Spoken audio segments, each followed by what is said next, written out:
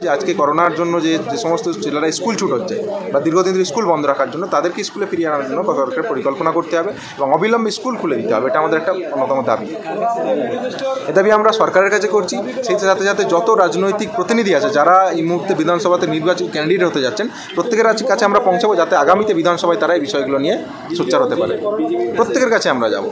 প্রত্যেকের কাছে। মানে মানে প্রত্যেকের কাছে আমরা যাব।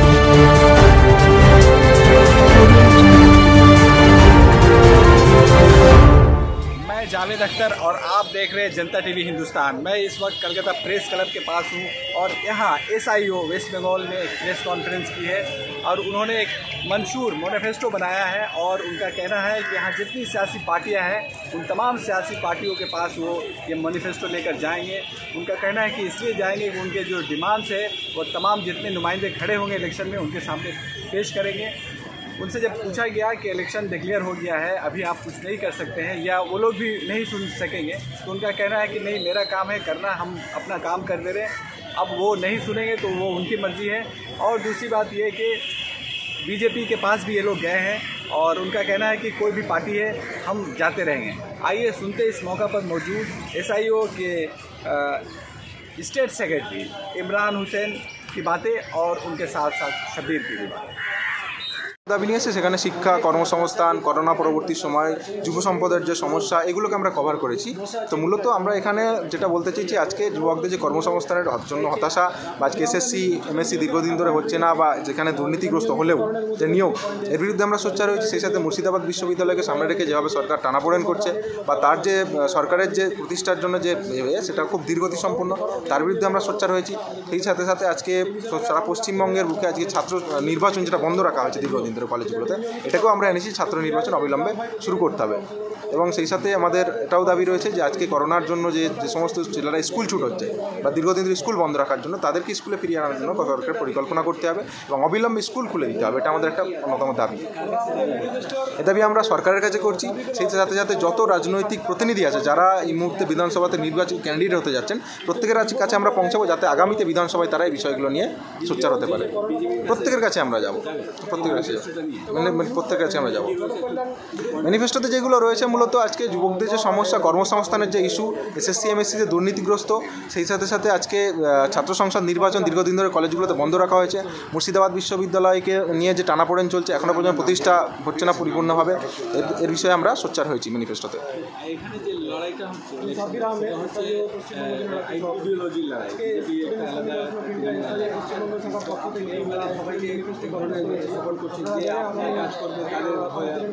না কখনোই তা নয়। আমরা স্পষ্ট আমাদের স্ট্যান্ড স্পষ্ট যে আজকে অসাম্প্রদায়িক যে দলগুলো যারা সাম্প্রদায়িক হিংসামুক্ত বা সাম্প্রদায়িক মানে সাম্প্রদায়িক ভাবনা নিয়ে রাজনীতি করে না বা সাম্প্রদায়িক দল তাদের প্রত্যেকের পক্ষে আমরা থাকতে চাই তাদের প্রত্যেকের কাছে আমরা আমাদের দাবি দেওয়া পৌঁছে সেই সাথে বিজেপির কাছেও আমরা পৌঁছাতে চাই এই জন্য তারা অন্তত বুঝুক যে আজকে কী প্রয়োজন পশ্চিমবঙ্গের।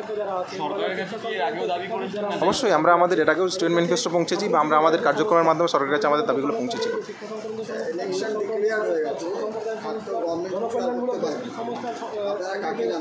এগুলো আমরা জানাতে চাইছি সমস্ত রাজনৈতিক প্রতিনিধি। দুশো চুরানব্বই যে জন যে ক্যান্ডিডেট হবেন প্রত্যেকের কাছে আমরা পৌঁছাবো যাতে আগামীতে বিধানসভাতে তারা এই বিষয়গুলোকে নিয়ে ইস্যু করতে পারেন বিষয়গুলোকে নিয়ে তারা আলোচনার জায়গায় নিয়ে আসতে পারেন এবং দাবিগুলোকে পূরণ করতে পারেন। বছর ছিল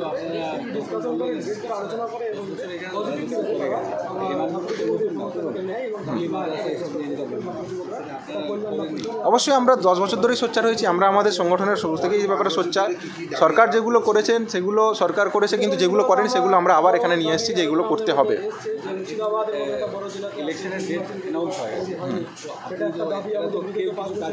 না। আমরা আগেও করেছি। এখন আমাদের কাছে আমরা দাবিগুলো এক এক জায়গায় নিয়ে এসেছি, এইগুলো যে যাতে করে আগামীতে যারা রাজনৈতিকভাবে নির্বাচিত হবেন, তারা যাতে বিধানসভাতে এই বিষয়গুলো নিয়ে আলোচনা করতে পারেন যাতে বিধানসভায় এগুলোর এই দাবিগুলো ওঠে। আমরা এখন আজকে আমরা স্টুডেন্ট ম্যানিফেস্টো পাবলিশ করেছি আমরা আগামীকাল থেকে সমস্ত পার্টির কাছে যাব। প্রত্যেকটা পার্টির কাছে যাব আমরা প্রত্যেকটা রাজনৈতিক কাছে যাব। শেখ ইমরান হোসেন জনসংযোগ সম্পাদক এসআইও নিয়ে যে একটি বার্তা যে সরকারের কাছে দিচ্ছেন এই বিষয়ে কি বলছেন? বলেন? এই যে নতুন একটি বার্তা মানে স্টুডেন্টদের জন্য করছেন আপনারা যে সম্মেলনটা করছেন সেই বিষয়ে কি বলছেন? আমরা আমাদের আজকে স্টুডেন্ট ম্যানিফেস্টো এই প্রেস মিটের মাধ্যমে পাবলিশ করেছি। আমরা এই জন্য পাবলিশ করেছি যে আমরা দেখেছি আমাদের কমিটির রিপোর্টে বা এসআর পক্ষ থেকে আমরা বিগত দিনে কমিটি গঠন করেছিলাম, যাতে করে তারা পুরো আপামর পশ্চিমবঙ্গে একটা সার্ভে পরিচালনা করে স্টুডেন্টদের যে সমস্যা, সেটাকে নিয়ে। তো সেই রিপোর্টে উঠে এসেছে যে ছাত্রদের নিয়মিত এডুকেশনের ক্ষেত্রে বড় সমস্যা আছে। ছাত্রদের এডুকেশন কমপ্লিট করা হায়ার এডুকেশন কমপ্লিট হয়ে যাওয়ার পরে নিয়োগের ক্ষেত্রে দীর্ঘদিন ধরে নিয়োগ নেই। সেই জন্য একটা বড় বেকারত্বের জ্বালায় তারা ভুগছে, এটা একটা বড় সমস্যা উঠে এসেছে। তাদের সাথে করোনা বা লকডাউনের একটা পিরিয়ড আমরা গত বছর কাটিয়ে উঠেছি, তারপরে আমরা দেখতে পেয়েছি আমাদের রিপোর্টে যে বেশ কিছু ছাত্র স্কুল ছুট বা ড্রপ আউট রেট অনেক বেড়ে গেছে, সেটা যাতে একটা বড় সমস্যা আমাদের সামনে উঠে এসেছে। এই সমস্যাগুলোকে সামনে রেখে, এর তাছাড়াও মানবাধিকার সংক্রান্ত বেশ কিছু বিষয় এবং জনকল্যাণমূলক বেশ কিছু বিষয় আমাদের মাঝে উঠে এসেছে, এটা সমস্যা সামনে রেখে। আমরা চেয়েছি যে এই সমস্যাগুলোকে সামনে রেখে সরকার যাতে আগামী বিধানসভা ইলেকশনে এই বিষয়গুলোকে সামনে রেখে তারা অ্যাড্রেস করে, তারা তাদের নির্বাচনী ইশতেহারে এই বিষয়গুলোকে রাখে।